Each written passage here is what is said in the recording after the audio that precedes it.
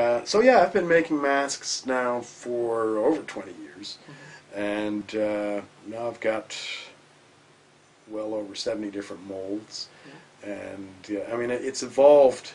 Uh, my my process of making them has evolved uh, quite substantially since I started making them.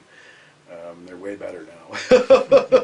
uh, but I make neutral masks now because I found a, uh, I couldn't make them before. I couldn't make them with the, the process I was using because the neutral mask needs to needs to have a uh, it covers the full face and it can't be soft. It needs to be a um, kind of hard shell. So I've, I discovered neoprene latex, which is Okay.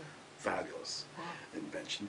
And uh, so yeah, I was able to make a, a, a set of those neutral masks. So the neutral masks are full face, male and female, three different ages for, for each mask.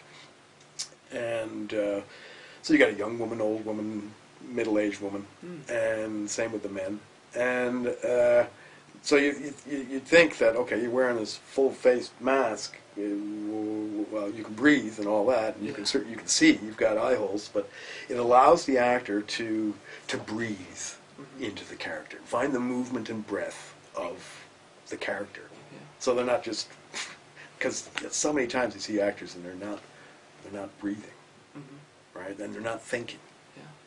That's what the neutral masks uh, uh, allow you to, to, to discover.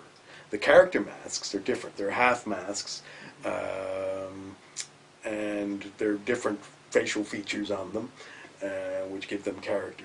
And uh, the idea is that you put the mask on, look in a mirror, and you spout gibberish, make noises, make faces, or whatever. But then you realize that oh, okay, well, you can make a face under the mask. You can laugh under the mask. You can cry under the mask. And these aren't ha- like Halloween masks because a- any of those, uh, any of that expression reads Yeah. right? So uh, you look at the mask and you take that information and from what you see and the sounds you're making, and your brain goes, okay, that's this guy, and you become that guy that you see, right? So it's a process of uh, you know working from the outside in, right, as opposed to the neutral mask, which is working from the inside out.